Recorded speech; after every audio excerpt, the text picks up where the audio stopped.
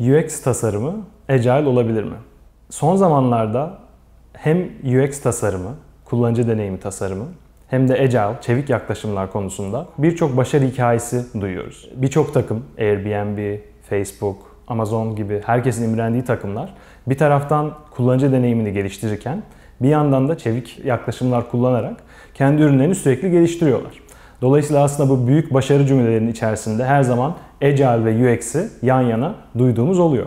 Fakat bazı yerlerde Agile ile UX yaklaşımı çok tezatlar içeriyor. Dolayısıyla beraber çalışmalarında hem iyi yapabildikleri, beraber yapabildikleri ve iyi sonuçlar çıkarabildikleri alanlar var.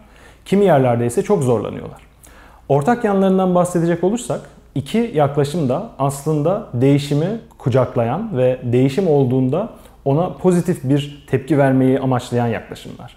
Tek seferde bir şeye karar vermektense gerek müşteri ihtiyacı olsun, gerek pazarın değişimi olsun, gerek projenin içinde olabilecek bambaşka bir durum olsun. Buna uyumlu olarak ilerlemeyi kabullenmiş e, iki ayrı benzer yaklaşım aslında.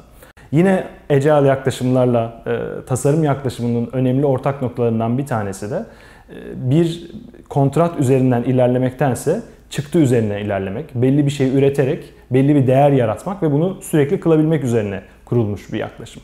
Aynı şekilde çok dile getirilmeyen ve hani Agile Manifesto'da da çok geçmese de sürekli bütün Agile pratiklerini uygulayan yazılımcılar arasında e, geçen Software as Craft e, yaklaşımı var. Bir makine gibi kod yazmaktansa gerçekten bir zanaatkar gibi kodu işleyerek iyi bir yere getirebilmek konusunda çalışmaları olan bir e, bir yaklaşımdan bahsediyoruz burada. Keza tasarımcılarda da çok benzer bir yaklaşım var. Bir şekilde zanaatkar gibi yaklaştığımız birçok problem var. İşimizin kaliteli olması, işimizin e, bizden sonra birisi devraldığında kötü hissetmemesi ya da son kullanıcıya ulaştığında memnuniyet verebilmesi ve bize geri dönmemesi bizler için de çok önemli şeyler. Dolayısıyla burada da çevik yaklaşımlarla çok örtüşen bir yapımız olduğunu düşünüyorum. Bu kadar benzerlik olmasına rağmen çevik yaklaşımlarla bazı noktalarda çok ayrıştığını düşünüyorum UX tasarımının. Bunların en başında gelen şey çıktının ne olduğu. Agile yaklaşımlar özellikle Scrum her sprint sonunda, her iterasyon sonunda çalışabilen ve son kullanıcıya ulaşabilen bir yazılımın öneminden bahseder. Halbuki tasarım sadece bir yazılım çıktısı değil, çok farklı başka çıktılar da üreten ve gerektiği zaman da üretmesi gereken bir yaklaşımdır. Örneğin e, bir kullanıcıyla görüştüğümüz zaman sonuç hiçbir şekilde bir tasarım olmayabilir. Sonuç hiçbir şekilde yeni bir fikir olmayabilir. Yeni bir anlayış olur bazen. Daha önce bilmediğimiz yeni bir bilgiye ulaşırız. Daha önce fark etmediğimiz bambaşka bir konu hakkında e, bilgimiz olur ve ona göre bir aksiyon alıp farklı bir şekilde bir çalışma yaptığımız durumlar olur. Dolayısıyla yazılım her ne kadar agile yaklaşımlarda değerli bir çıktı olsa da tasarım anlamında her aşamada değerli bir çıktı olmayabilir. Başka agile'la farklılaşan bir tasarımın farklılaştığı bir yan müşteriyle ilişki. Şimdi bu çok aslında çekişmeli bir konu olabilir. Çünkü tasarım elbette müşteriyle ilgilenir. Fakat tasarım tarafındaki önemli faktörlerden bir tanesi aynı zamanda son kullanıcıdır. Agile pratiklerinin başlangıcı IT departmanlarına dayanıyor.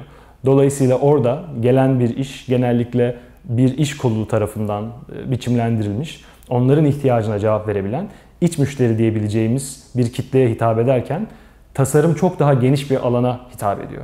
Maalesef özellikle Scrum alanında bu ihtiyaçlar sadece product owner gibi müşterinin anca bir elçisi olabilecek kişiler üzerinden takıma gelirken özellikle iyi kullanıcı deneyimi tasarım yaklaşımlarında bu ara kişiler yerine direkt kullanıcıyla çalışmak gerekiyor.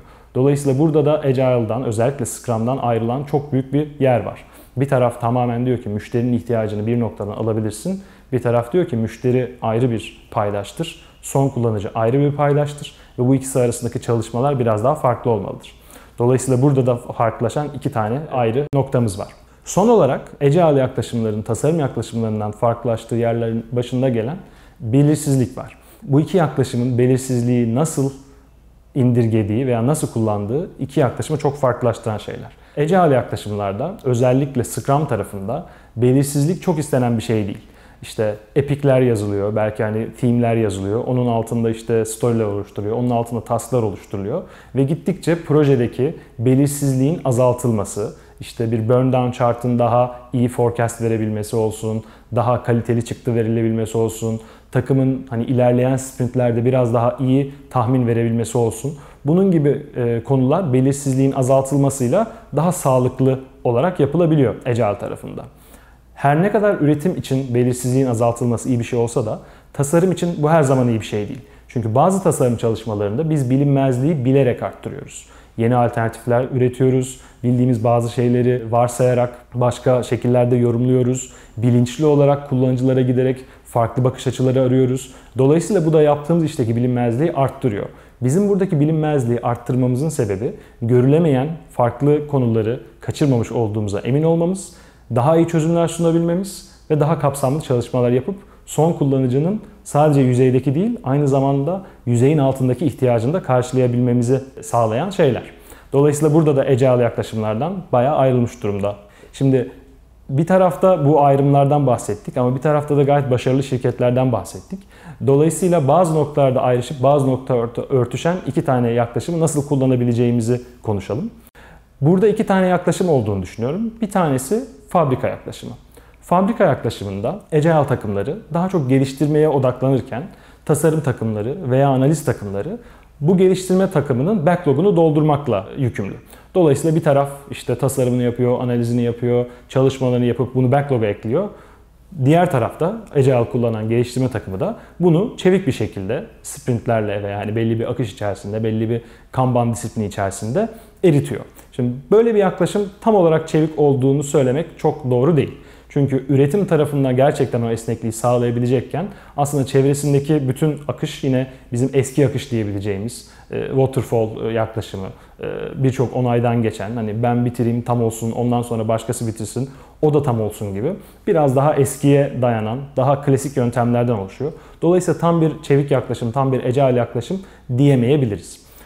Bunun yanında biraz daha ürün yaklaşımına yakın başka bir çalışma metodu var.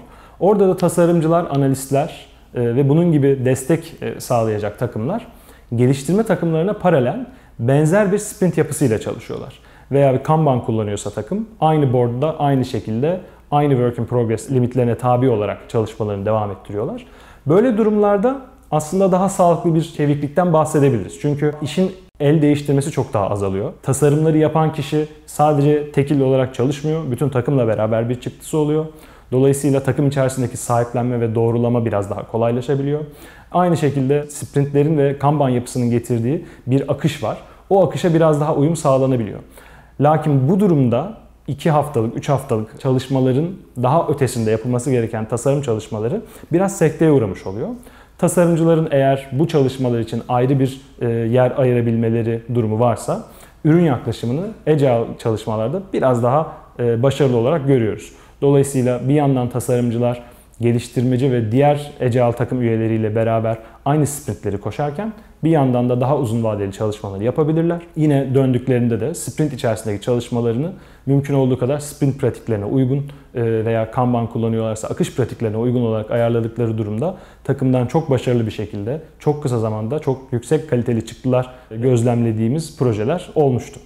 Bunun dışında özellikle Scrum kullanan takımlara hani bir tavsiyem de şu olur. E, Sprint Zero aslında çok değerli bir başlangıç noktası. İyi tasarımın e, iyi bir keşif çalışmasıyla, iyi bir keşif aşamasıyla başladığını e, söyleyebiliriz. Sprint Zero'yu da mümkün olduğu kadar uzun tutarak bu iyi keşif çalışmalarıyla değerlendirmemiz, daha sonra da bunun üzerine ekleyebileceğimiz sadece tasarımcıların değil, programcıların, analistlerin de kullanabileceği bir design guide olsun, belli bir tasarım prensipleri kiti olsun.